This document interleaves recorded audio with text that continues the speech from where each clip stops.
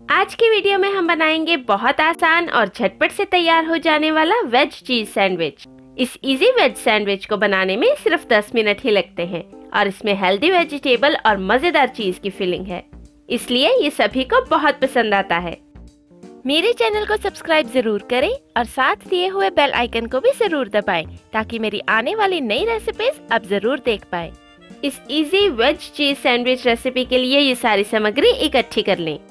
चीज़ sandwich बनाने के लिए सबसे पहले हम एक मिक्सिंग बाउल में डाल रहे हैं बारीक काटा हुआ एक प्याज, एक चॉप किया हुआ टमाटर, बारीक काटी हुई एक मीडियम साइज़ शिमला मिर्च, बारीक काटी हुई एक हरी मिर्ची, एक तिहाई चम्मच या स्वाद अनुसार नमक, एक चौथाई चम्मच गरम मसाला और इसे थोड़ा चटपटा बनाने के लिए एक चौथाई चम्मच चाट मसाला डालकर इन सभी को आपस में अच्छे से मिक्स कर लें।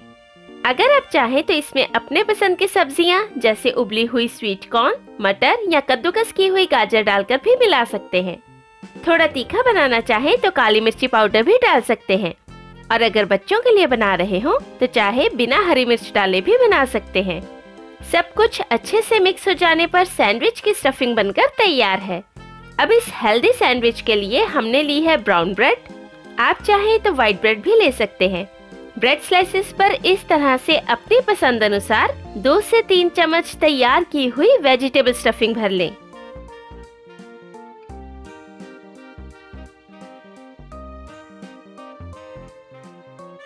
इस सैंडविच को चीजी बनाने के लिए हमने लिया है आमूल चीज़ स्लाइस जो बाज़ार से बहुत आराम से मिल जाता है। अगर आप चाहें तो आप कद्दूकस की हुई मोजरेला चीज़ या पनीर का स्लाइस डालकर भी बना सकते हैं। फाइनली इस पर एक और ब्रेड स्लाइस रखें और अब ये पकाने के लिए तैयार है। इसी तरह हम बाकी के सैंडविच भी तैयार कर लेंगे। बताई गई सामग्री से तीन सैंडविच बनकर तैयार होंगे। सैंडविच पकाने के लिए एक गरम तवे पर थोड़ा बटर या देसी घी लगा लें और इस पर तैयार किया हुआ सैंडविच रखकर सेक लें। इसे हम मीडियम हीट पर सेकेंगे, क्योंकि हाई हीट पर यह झट से जल जाएगा। सैंडविच को एक तरफ़ करके तवे पर थोड़ा और बटर या देसी घी लगा लें। और सैंडविच को पलटकर दूसरी तरफ़ से भी पका लें।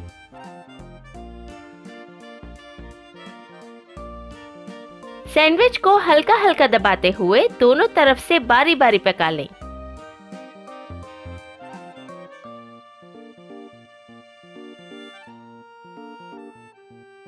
तकरीबन एक से डेढ़ मिनट में जब ब्रेड दोनों तरफ़ से अच्छे से रोस्ट हो जाए, तब ये सैंडविच सर्व करने के लिए तैयार है।